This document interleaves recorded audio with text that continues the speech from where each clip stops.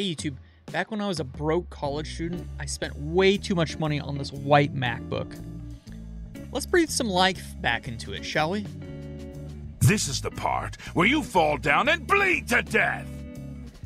My goal with this MacBook is to simply be able to access the internet, watch a few YouTube videos, and perhaps do some basic word processing. As of right now, I'm unable to do so with the operating system that's on this laptop in any real capacity due to the age of the OS. So, we're going to grab Linux Mint here shortly after we swap out the hard drive for a solid state drive. First, we need to remove the 8 screws on the back. Following that, we're going to remove the safety bar that is helping hold the hard drive in place. I'm going to remove the data and power connection cable from the hard drive and set the hard drive aside for the moment. In reality, I should probably take this opportunity to blow the dust out of this thing, but unfortunately, I don't have any compressed air at the moment. So after we attach this new solid state drive and replace the bar that helps hold the drive in place, I'm going to toss the bottom panel back on, and then we're going to hop on over to our other screen where we're going to snag ourselves Linux Mint. Alright, so first up, we're going to um, grab Linux Mint. So you just go to Google, slam in Linux Mint. going to go to Downloads, or Download. And I want the XFCE edition because it's the most lightweight edition here for Linux Mint. Download that. Um, you'll go down here to a mirror site and download from your selected mirror. Um, what I used was Clarkson University. We already have this downloaded, so we're gonna jump over to the next thing we need to do. Okay, so now that we have our Linux Mint, we're gonna grab Rufus. And so this uh, looks extremely sketchy. I feel like every time I come here, it's surprisingly fine. Um, but you do need to um, go down past all the random ads that are just uh, there that uh, I think are maybe meant to confuse you, but I'm not entirely sure. We are using a Windows um, x64 base processor. So I'm going to grab this one. Um, most of you, I would imagine, are on x64, but just in case, there's also x86 and Windows ARM.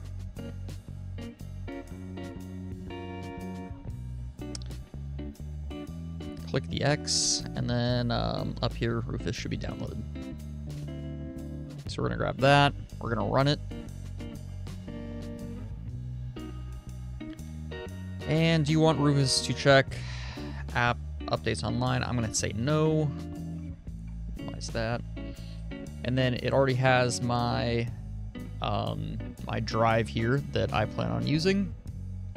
And in that case, in this case, it's the G drive, which is my flash drive. And I'm going to select the ISO I want, which is Linux Mint, which I downloaded yesterday. Click on that, click open. And then down here, um, all we have to do is click start. It's going to have a few pop-ups. Please make sure to read those. And then also please note that anything on the flash drive, any data that's still on there, it's going to be gone.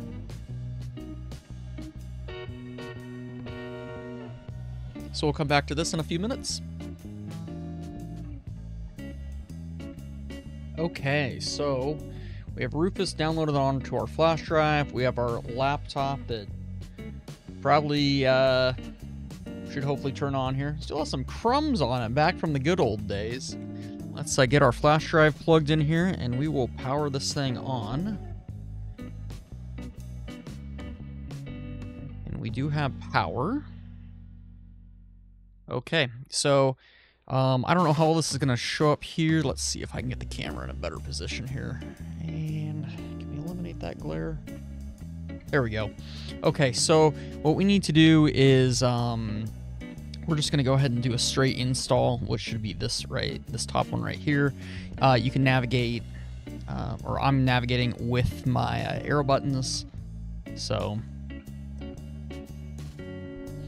we'll go ahead and let this think for a while, and we will pick it back up here in a minute.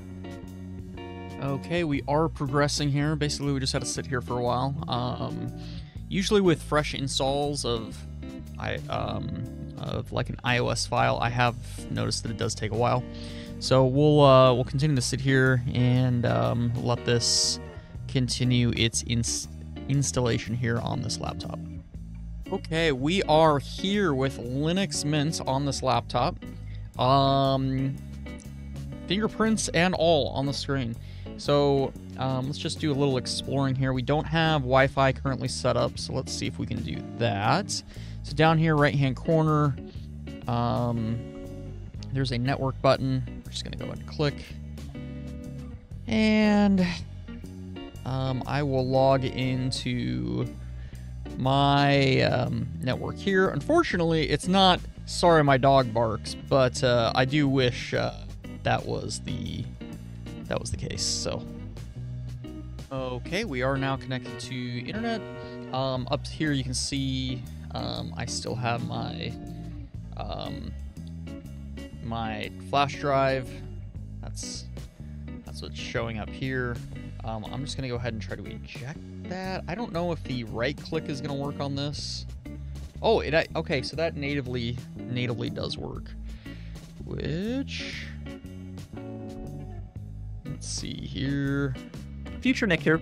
Um, yeah, so that icon that I'm trying to um, eject up in whatever corner this screen relates to the screen that we're probably now looking at. Yeah, I don't want to do that. I'm an idiot. Um, that button, actually, I need to click that, and that will actually install Linux Mint for us. Actually, I don't have footage of it because I didn't think to actually record it for whatever reason. So, back to our regular programming, ladies and gentlemen. All right, I'm gonna just leave that in there for now until I can, uh, until I get a little more used to this operating system. Um, but we now have Linux Mint downloaded on here. We have uh, Wi-Fi connection down here in the corner. Ba- uh, we have battery health. We have volume. We have um, almost the correct uh, time and date. Um, real close right over here. But uh, we'll. Uh, I'm gonna see if I can throw the capture card on this, and we're gonna go go that direction from here on. All right, so now with the capture card hooked up, we can see what the heck's going on here a little bit better. There's a welcome screen that is really great at holding your hand and taking you through some of the ins and outs of Linux if you're completely new. Our hand holding has some easy to read documentation, a help portal, and if you really get into it, there's even a contribution tab. In my not so humble opinion, it's already a smoother experience than running Windows on my gaming computer, it comes with, for free, unlike Windows, an Office suite that has word processing, a spreadsheet, and a knockoff PowerPoint type thingy. And all in our basic software. You know, the things that Windows used to give us back in the day. We also come with the VLC media player and a camera that, for whatever reason, looks terrible. I'm guessing because I dropped this MacBook back in the day. Oh yeah, look how great that looks, everyone. So I've 100% made this usable again, which is awesome. Unfortunately, we're not going to be able to do any gaming on it with any modern games. But I can now use this old piece of technology that I wasn't able to use before, which I'm super excited about. So make sure to subscribe here on YouTube, drop a comment, drop a thumbs up, thumbs down if you didn't like the video. Follow me over on Twitch, link in the video description, where I'm live most Friday and Saturday evenings. We'll see you there.